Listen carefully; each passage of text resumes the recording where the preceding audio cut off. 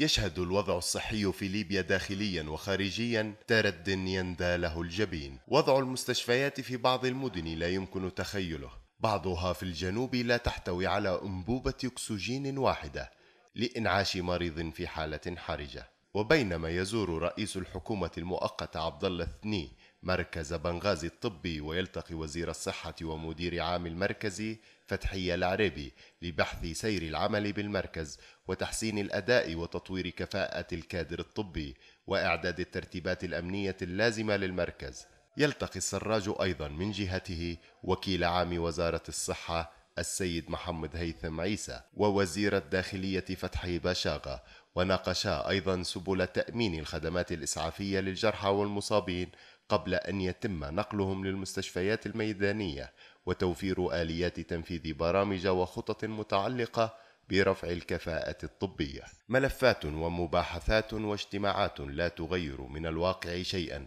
فالمصابون والجرحى في أوضاع بائسة جدا هنا وهناك، ومنظمة الصحة العالمية تسهم بفاعلية أكثر واقعية، وصرحت عبر صفحتها على الفيسبوك بأن وضع المستشفيات في ليبيا يحتاج إلى دعم إضافي وبأنها عالجت خلال الستة أشهر الماضية 15 ألف مريض في شرق البلاد وغربها وساعدت في توفير الرعاية الطبية للمحتاجين.